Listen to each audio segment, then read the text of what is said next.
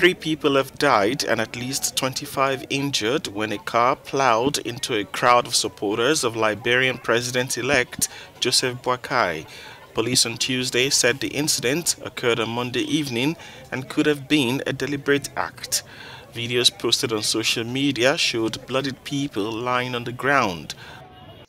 The Liberian National Police has launched an investigation into a tragic incident that occurred at the headquarters of the Unity Party of Broad Street, Central Monrovia, leaving 25 persons injured.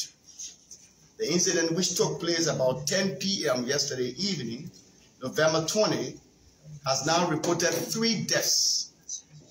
Of those three deaths, two males, one female, as confirmed by medical doctors at the John F. Kennedy Medical Center. Boakai's party said the car drove into supporters celebrating outside their headquarters between 9 p.m. and 10 p.m.